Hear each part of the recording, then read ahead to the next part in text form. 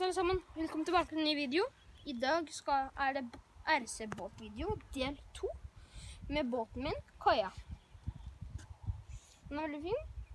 Ja. Skal vi hoppe rett inn i det da? Kjører vi.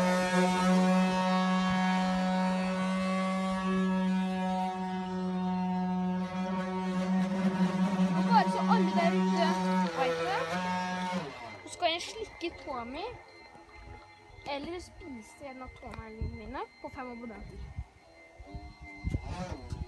Det skal jeg gjøre om camera.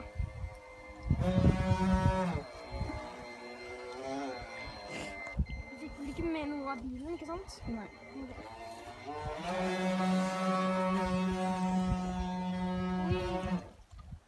Da må jeg ta det litt sakte over. Ikke skal ha så lange videoer, så er vi bare stopper der. vi. Men hvis dere har lyst til å se mer lengre videoer, bare si det, please.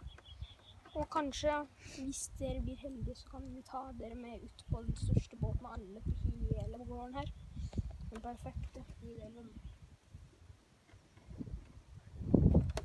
Ja. Skal vi gjøre én siste runde, da? Ok, Jeg skal gjøre det. Ok. Like, abonner, så ses vi neste video. Ha det.